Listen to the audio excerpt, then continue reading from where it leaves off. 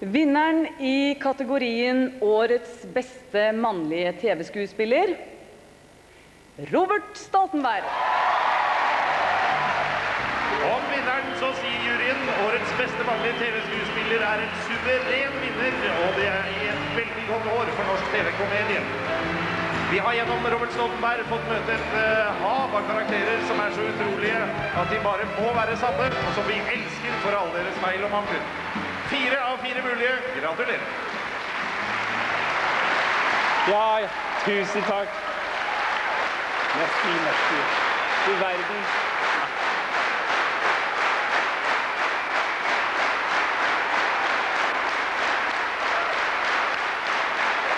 Tusen, takk.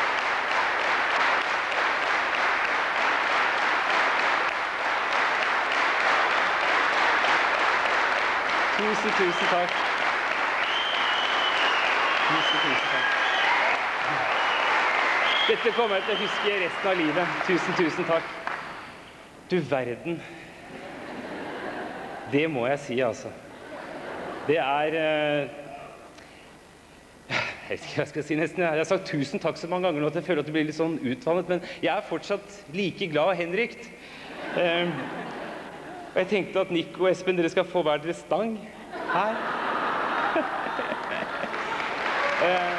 Ja, vi skal dele broderlig på det her. Det er utrolig gjevt å få en pris for ens skuespillerprestasjoner.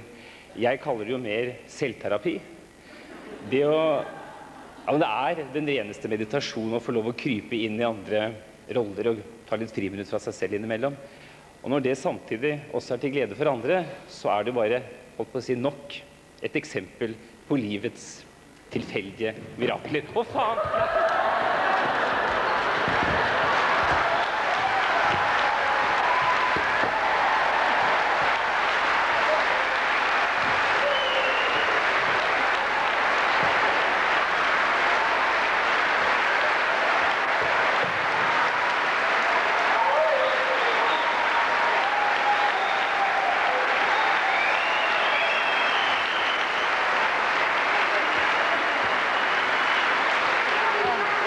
Det var veldig bra.